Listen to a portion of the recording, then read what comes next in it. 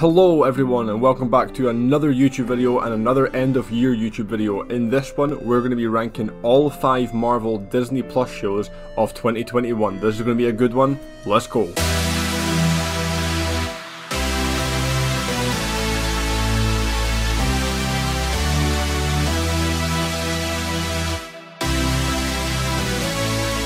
Like I said in the intro, we're going to be ranking all 5 of the Marvel Disney Plus shows from worst all the way to the best one. I'll be giving my thoughts on them all. As always, with these type of videos, this is my ranking. Not the perfect ranking, not the correct ranking, not your ranking. If you disagree, that is completely fine. That is the whole point of media, is that we all have different takes on things. We all like different things. With that being said, if you do have a different take, leave your take down in the comments. We can have a little discussion about it. But once again, this is my opinion, purely based based on what I enjoyed the most in 2021. With all of that boring stuff out the way, let's not waste any time, let's get straight into the video. Coming in at number 5 in last place is The Falcon and the Winter Soldier. I am not gonna lie, this show for me is the definition of mid.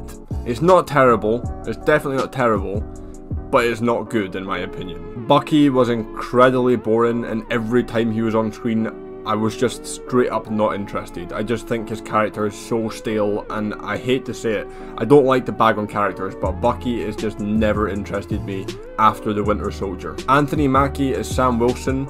He's pretty good. I actually do really enjoy him most of the time. Sometimes there's a little bit too much sarcasm, a little bit too much trying to like pushing that comedy to make him that grumpy, sarcastic guy. For the most part, I don't mind it, and I do quite like him as a character. Also, his Captain America suit, I can't lie, was very, very nice at the end of the show. The villain, though, oh my Oh, the villain for the Falcon and the Winter Soldier.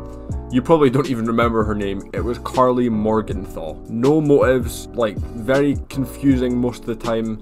Horrendous accent that didn't fit in the MCU, which I bagged on every week in my reactions. She was one off, if not the worst Marvel villain I've seen in the MCU. Like, she was that bad. Oh my goodness, she was the worst character by far. As far as I'm concerned, the plot was alright. It was pretty dead. It did have some good messages, don't get me wrong. The messages of the show and the real life implications were very important. I'm not looking over that at all. But the show in general as part of the MCU was just pretty bland and boring. It was just a bunch of frat guys riding about on motorbikes and driving fast cars, punching and kicking each other. Like, We've seen that a thousand times. Explosions and punching people and yeah, it's just very, very basic. Nothing really that special. It just felt like a same old, same old kind of very basic, generic action thing. However, good points. Isaiah Bradley was very interesting. I would love to see more of his story, his past, whatever. Honestly, a show on just that alone would have been better than The Falcon and the Winter Soldier, in my opinion. Joaquin Torres, who will obviously become the new Falcon, I absolutely loved him. He was a, like, a standout character for me, even though he was a small part. I enjoyed every time he was on screen. I wish there was more of him. And John Walker, by far, not my favourite not my favourite, but maybe the best character in the show. The fact that we hated him so much shows how good of a performance he put in. It was one of the things I was actually interested in watching in the show, one of the things that made me look at the screen and keep my interest. However, by far, standout character, my favourite in the whole show, Zemo. Zemo completely stole every single episode, every scene that he was in. Everything that had Zemo in it made me want to watch it. If there was more Zemo, it would be ranked higher. Zemo was so fun and I enjoyed every single thing he had to do with the show. With that being said, the show in general was not very good in my opinion. I would give this a solid 5 out of 10 and honestly, it could be argued that it's less, maybe more in your opinion, but for me, 5 out of 10. Alright, coming in at 4th place, we have What If? the animated show. Now don't get me wrong, some episodes were very boring. There were some parts where I was just like, oh, do we have to watch this? I wasn't exactly excited to watch it every single week. However, near the end, I was getting very into it and I was really enjoying it. There was a lot of great characters. For example, the Killmonger, my Michael B. Jordan, I really loved and I really hope we get him in the MCU more in the future. Captain Carter, the episode wasn't the best, but the character was very interesting. Obviously, Ultron was an absolute unit, one of the coolest animated villains I've seen in a long time. I loved him so much. And Dark Doctor Strange, Strange Supreme, whatever you want to call him. He was a very interesting character and I loved watching their back and forth at the end. The Marvel Zombies episode, especially for me, if you know me, you'll know I love zombie fiction. The Marvel Zombies episode was amazing. I really enjoyed that whole episode very thoroughly. And I cannot wait for the new show to come out because it's one of my all-time favourite comic runs from Marvel. All in all, Marvel tried something new for the MCU and it was good. It wasn't bad at all. It was pretty cool, the story ended great, everything came together in a big conclusion very nicely. However, it's lower in the list just simply because I prefer live action. I always have, I always will, I can't help it. It was a good show, it just wasn't better than the other three. I would give this a solid 6.5 out of 10. Okay, hitting the podium, taking the number 3 spot, we have Loki.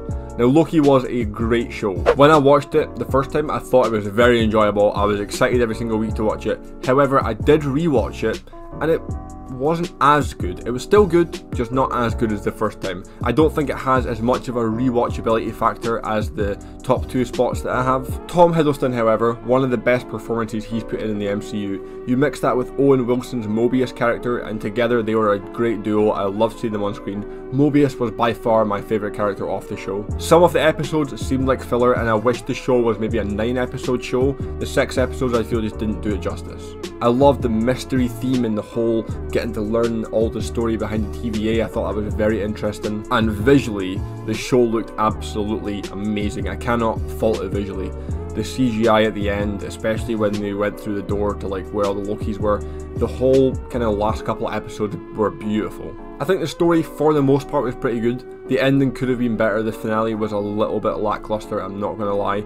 However, I think season 2 will build on that and season 2 will be much better than the first season. One last thing, Sylvie, she was alright sometimes, for the most part I find her just a little bit annoying, I'm not gonna lie, and especially in the last episode she was just the cause of the problems. I do wish we got all of the other Lokis explored a little bit more. Classic Loki was so enjoyable to watch, so was Kid Loki, and I wish we got to see a little bit more of them.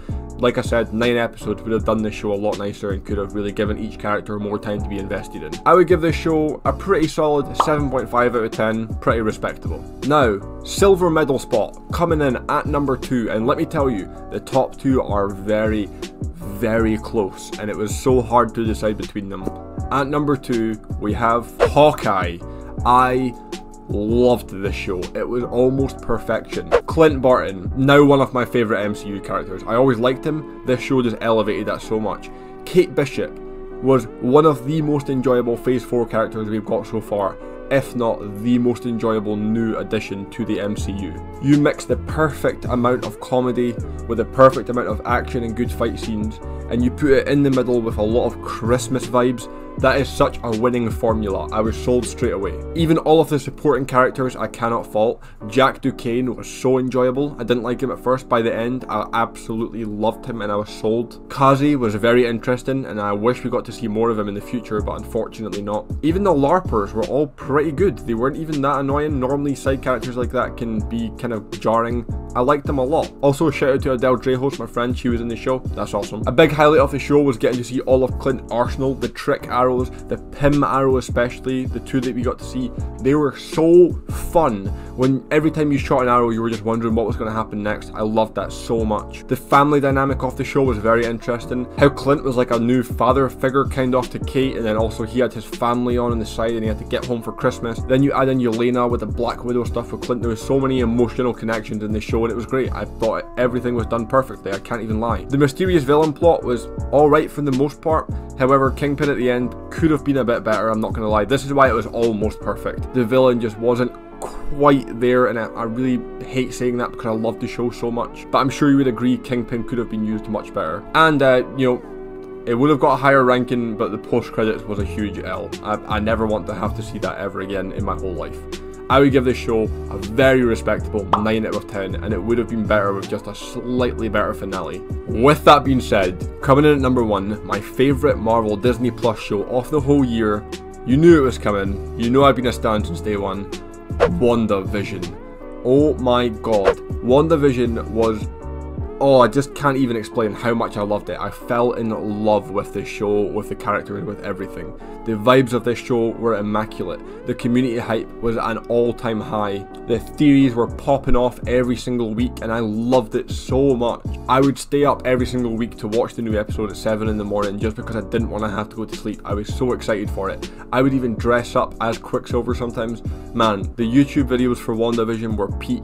I think Wanda and Vision in general have the best relationship we have ever seen in any comic book media.